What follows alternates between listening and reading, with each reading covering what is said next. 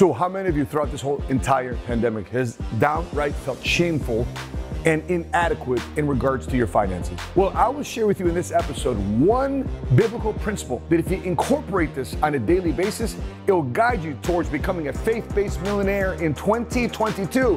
What is it? Let's get started. In this episode of Vlogmas, episode 5 of the Seven Figure Squad Scripture Series, starting in 3, 2, 1, let's go. Never short stopping, now I'm winning like I'm Jeter. Steady through the rigor, yeah, I'm getting bigger. Was fighting in them trenches, now I'm making seven figures like. What's cracking, everybody? Money Smart Guy Matt Sapaula here, hailing to you from Dallas, Texas. And if you haven't done so already, please click subscribe below because our goal is to get to 150,000 subscribers. So therefore, we can award a church, charity, or nonprofit $5,000 on behalf of you. Yes, the squad to help them help other people. So please click subscribe. All right, let's get right into it. Have you ever heard of this saying? Life gives to the givers, takes from the takers, and has a very accurate accounting system. When I first heard this, I was blown away by this parable, by this quote because it caused in me a shift in my attitude towards money. It caused in me a shift in my perspective about money and also caused me a direction and excitement when I finally make my money. Because when I heard this, I was absolutely flat broke. I'm gonna share with you stories in the Bible that might encourage you, and I hope that it deeply encourages you to incorporate this daily habit into your lives. It was so impactful that there's many, many different scriptures of Jesus talking about the habit of giving. That's correct. The daily habit of giving. And what does it mean to give? I mean, after all, it is Christmas. It is the holiday season, is it not? I mean, this is the holiday season of giving. I want you to know that these stories are effectively in the Bible. And if you look in the book of Luke, there's many different stories about givers. I just decided to take three of them from the book of Luke, of Luke documenting his association and discipleship with Jesus. Okay, three types of givers in the book of Luke. First one is the fake giver. The fake giver. Yep, he's fake. Looks good, sounds good, but deep down inside, paper thin and flat out fake. So in this scripture of Luke 18, chapter 22 and 23, this is the story of the rich ruler. And this rich ruler, he absolutely coveted his wealth. And at the same time, too, he's also curious about Jesus. He's curious about his faith. He's curious about his relationship with God. Also, he's curious about his relationship with money. So Jesus actually caused him to rethink the way he thought about money. Because money, according to the scripture, money will expose and magnify your character. Money will expose your deep down beliefs. So let's take a look at this scripture, what he says here, what Jesus says here about what his command was to the rich ruler as it was towards money. Let's take a look at this. A certain ruler asked him, Good teacher, which is Jesus, what must I do to inherit eternal life? Jesus answered, Why do you call me good? No one is good except God. You know the commandments do not commit adultery, do not commit murder, do not steal, do not give false testimony, honor your father and mother. And this ruler says, All these I have kept since I was a boy, he said. And then Jesus heard this. He said to him, You still lack one thing. Sell everything you have and give to the poor and thou shalt have treasure in heaven. And come and follow me. He became very sad because he was a great man of wealth. Jesus looked at him and said, How hard is it for the rich to enter the kingdom of God? Verily I say unto you, it is easier for a camel to go through the eye of a needle than for a rich man to enter into the kingdom of God. Who then can be saved? With man, this is impossible. But with God, all things are possible. So, by the way, this is the favorite scripture not only to help you become a better giver, but also this is the favorite scripture of my favorite community out there that loves to be judgmental Christians saying, hey, it's a sin to be rich. Hey, it's a sin to make money. It's, it's better to be more blessed, to be broke and living in poverty in America because it's easier for a camel to go through an eye of a needle than for a rich man to get into heaven. By the way, let's take a look at a recent interview I did with this entrepreneur who was a felon and what his revelation was in prison of what God told him about money. Let's take a look at what Ryan Stewman said about this scripture. Let's take a look at this. What does it take to be a person of faith, to be faith based, and actually not feel any guilt of succeeding? Because you know you see it around the faith based community, the Christian community. Oh, you know, you know, it's better to be broke, man. I mean, you know, God doesn't want you to prosper, and, and some financial myths that people have about finances in the church. Well, I think a lot of people are very undereducated when it comes to the Bible. And I think it's because we got a lot of people with hidden agendas preaching stuff from it that they're really not sure about. Um, I spent a lot of time in prison and spent a lot of time in solitary confinement. Therefore, I have read the Bible. a couple times. Yes. Times, yes. Four times to be exact. Wow. And since 2005, I have read the proverb of the day damn near every day, which would mean that I have read Proverbs over 200 times, I believe. It's funny you mentioned that. I love Proverbs. We, we did a series of, that was a video for us that blew up, uh, how this book of the Bible made me millions. And I got so much heat from the faith based community. Oh, you should never use the Bible to make money. God didn't save They his son. misunderstand the word humble. Have most people have never looked up the definition of humble. That's where people don't understand. The Lord tells you to be humble, or the, the Lord doesn't say that. The Bible, the man writing in the Bible, says that, that that that's God's will is for you to be humble, but it doesn't say be broke.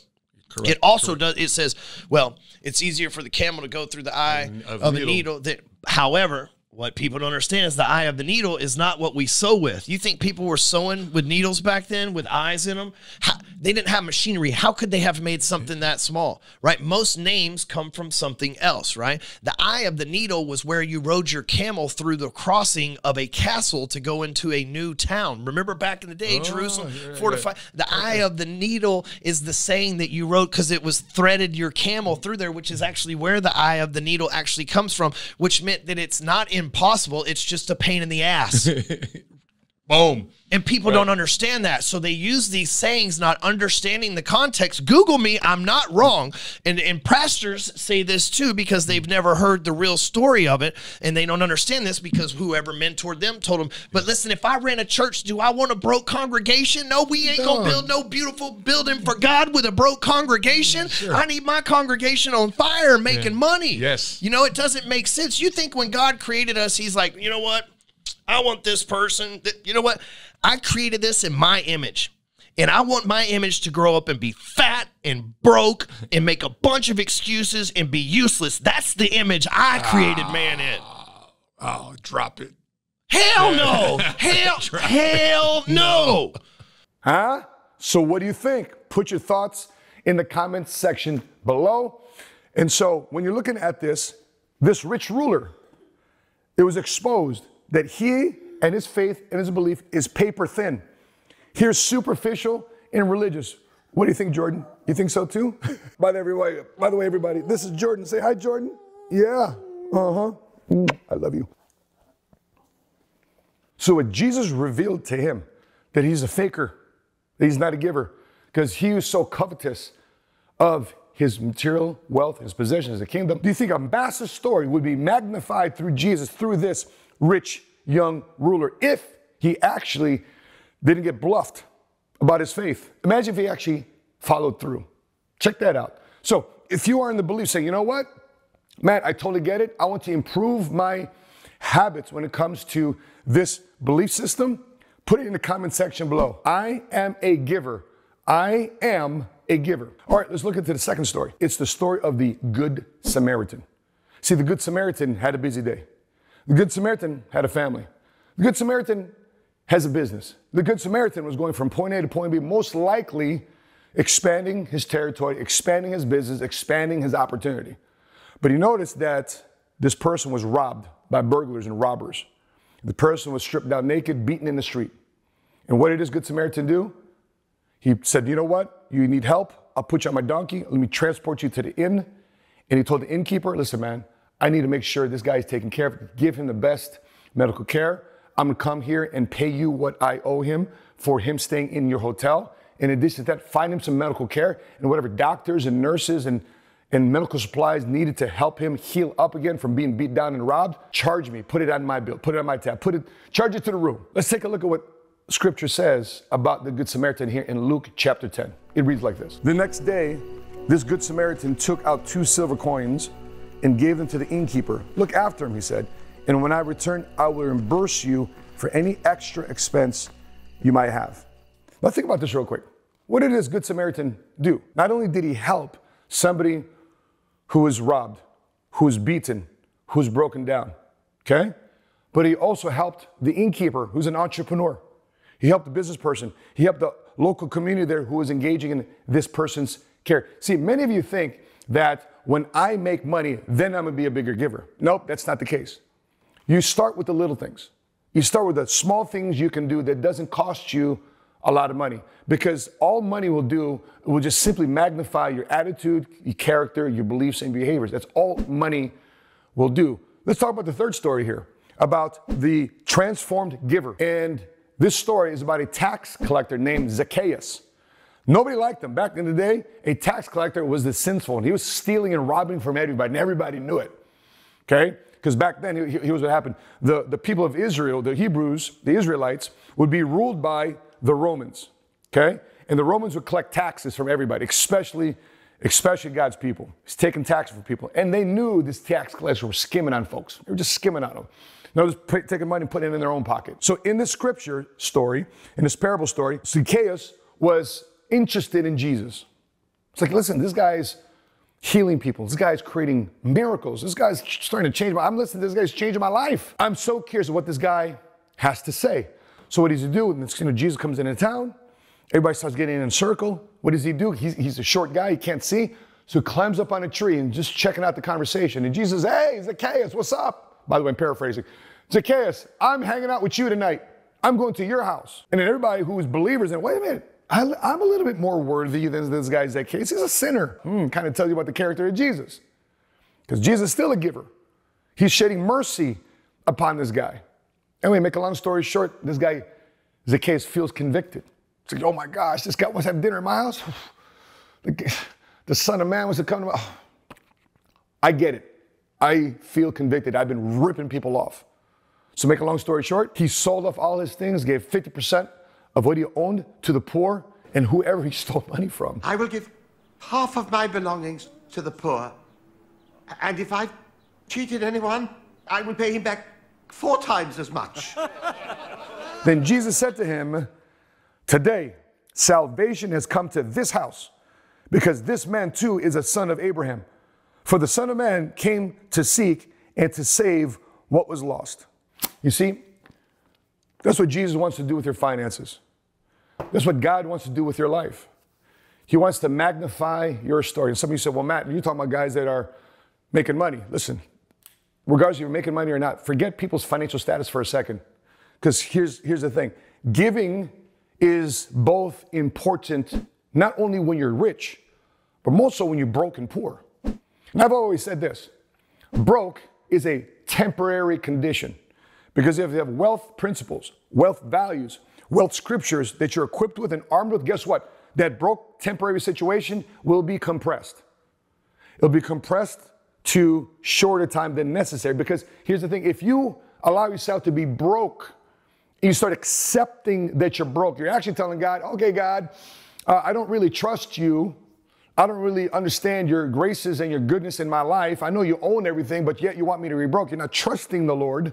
You're not increasing your skill set. You're not expanding your territory. You're not expanding your vision. You're not allowing the God given dream that God gave you and only you to be magnified through your finances, to be magnified through your talents, to be magnified through your, your, your, your business, your career. You're actually saying, God, I don't trust you because you know what? I'm just going to settle here to be broke. And I tell this to the judgmental Christian community all the time. Don't be so heavenly minded when it comes to scripture. Don't be so heavenly minded in verbatim factoids about scripture. Don't be so heavenly minded that you're no earthly good. This is a moment where fear sharpens listening. This is a moment you allow pain to become a great teacher.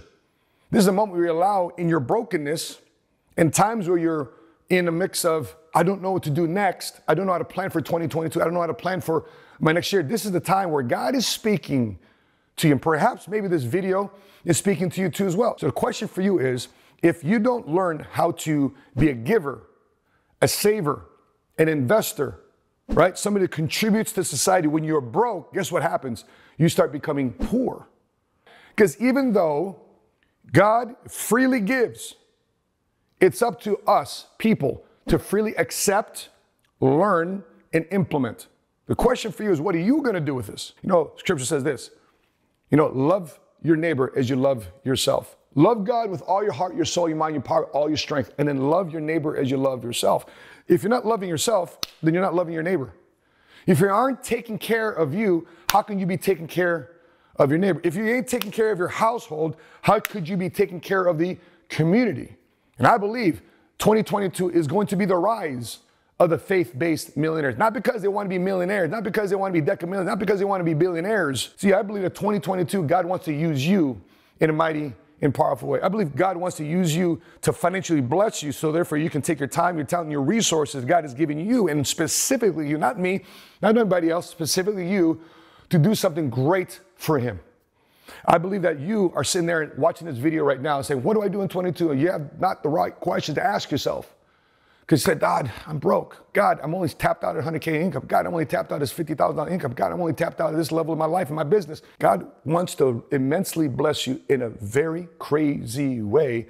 So therefore, when you make it and you're up there, not only taking care of people here, but God gets all the glory for all your goodness and your blessings and your success. How do you feel about that? I hope you feel great about that. Put in the comment section below. I am a faith-based millionaire. I am a faith-based millionaire. Speak it into life. Before I let you go, check out these couple videos here. Number one is three biblical truths, three biblical truths that will make you become a faith-based millionaire. And the second video here, which was one of my favorite conversations, and by the way, would you like to have a part two of this conversation? Because it was with Rabbi Lapin, how biblical wisdom will help you become a faith-based millionaire. That being said, guys, I appreciate you tuning in. Put your thoughts, questions, comments in the comment section below. Who knows? We might just use it in a future episode. That being said, guys, if you're watching this on Facebook, make sure you click like and follow our Facebook page, Money Smart Guy. And if you're watching this on YouTube, make sure you click like, hit subscribe and notifications to be alerted the next time we upload our next episode. That being said, guys, from Dallas, Texas, I'll see you tomorrow. Till meet again. Continue to live smart, continue to love smart, and be money smart today. God bless you guys. Bye bye.